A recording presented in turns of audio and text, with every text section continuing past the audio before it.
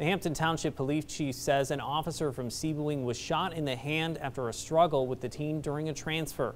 NBC 25's Nikki Zizaza is in the studio with our top story. Nikki, how are residents in the area responding to the incident tonight? Well, Kyle, some residents I spoke with who live near the juvenile detention center tell me they are not afraid. They say the neighborhood where this double shooting occurred is typically quiet and safe.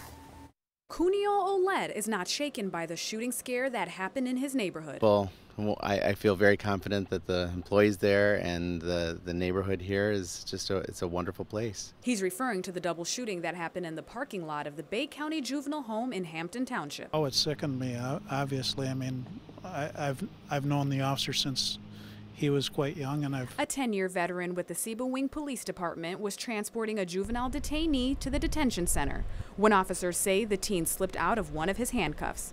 The Hampton Township Police Chief says the teenager, who has not been identified, reached for the officer's gun.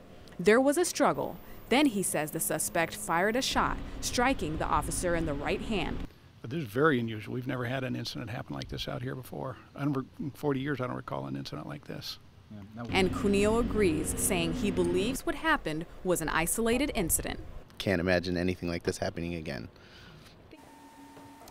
The officer is being treated for non-life-threatening injuries. The teen is on life support and in extremely critical condition.